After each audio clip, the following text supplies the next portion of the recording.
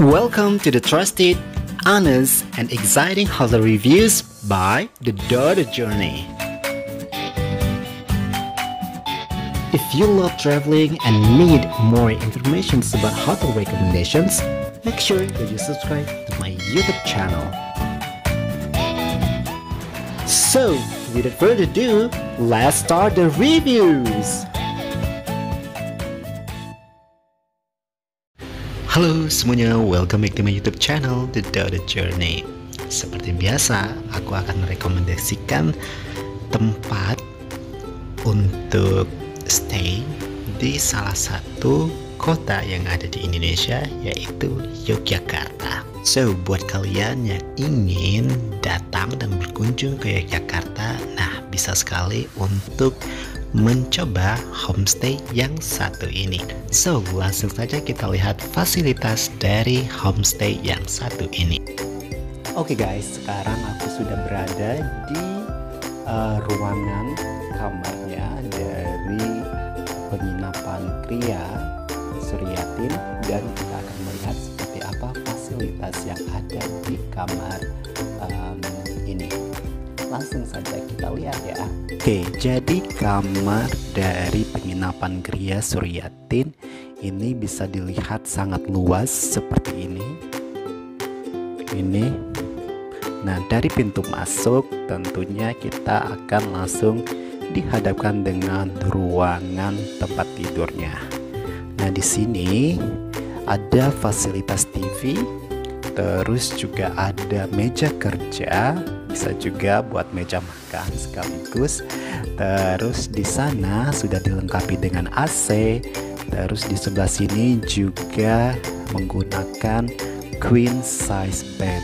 Dan ini untuk queen size bednya juga sangat nyaman sekali dan empuk dan tentunya bersih dan wangi.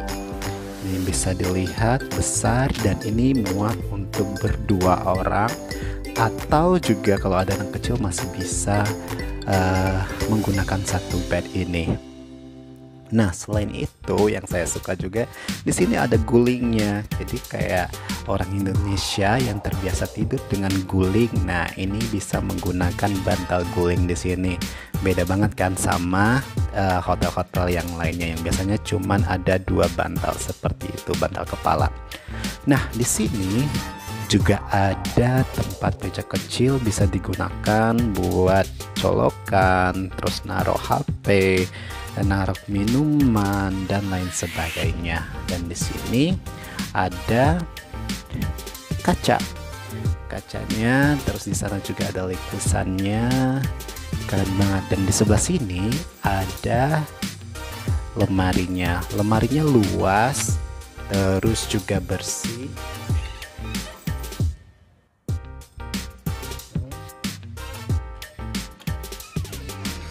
di sebelah sini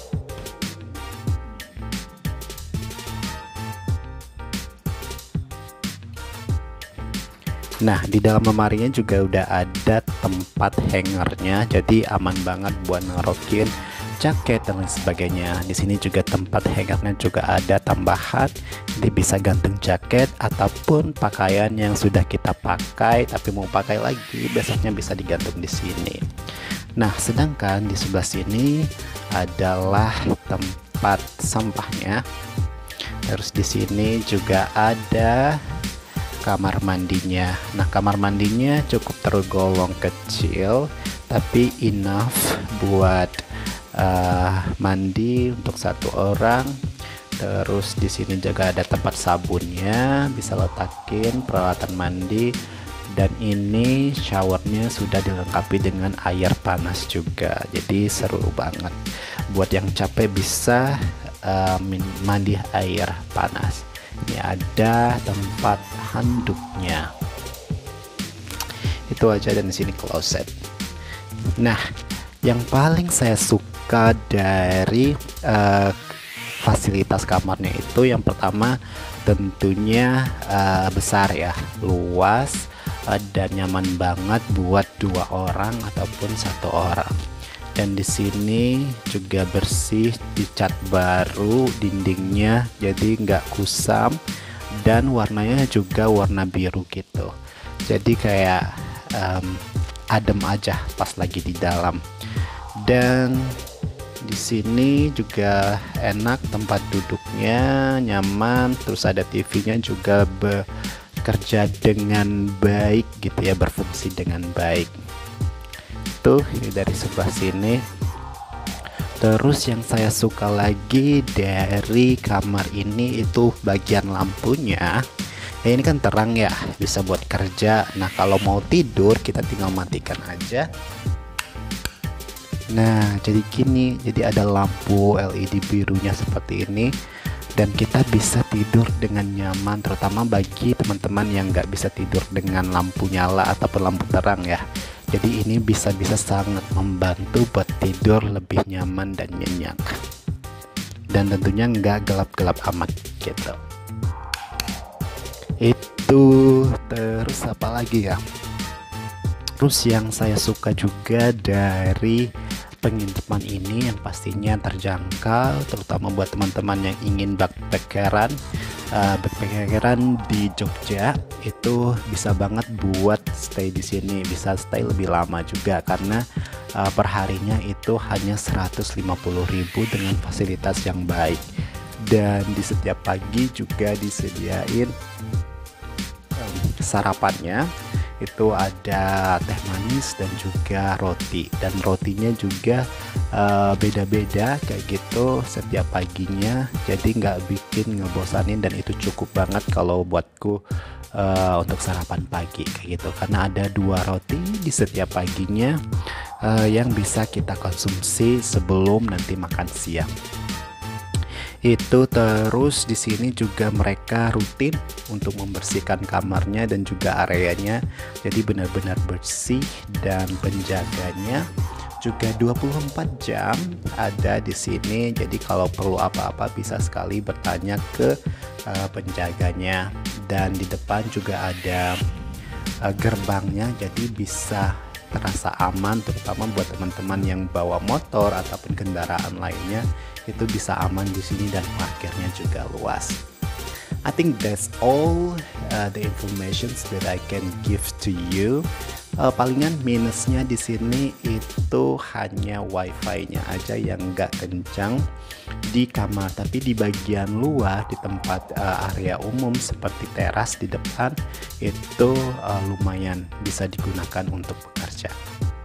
That's all. Thank you for watching this video, and I will uh, show you some uh, environments ataupun bagian-bagian dari hotel ini. Uh, ya yeah, let's see. Yap, seperti yang saya sampaikan tadi teman-teman kita akan melihat seperti apa lingkungan dari homestay yang satu ini. Nah jadi homestay yang satu ini itu terdapat dua lantai. Lantai dan di setiap lantainya itu lumayan banyak kamarnya dan memanjang seperti itu. Nah seperti ini kira-kira. Um, ya ini bagian pertama dan ini lantai kedua di atasnya. Dan tentunya karena cuma dua lantai jadi kita hanya bisa naik tangga ya belum ada liftnya.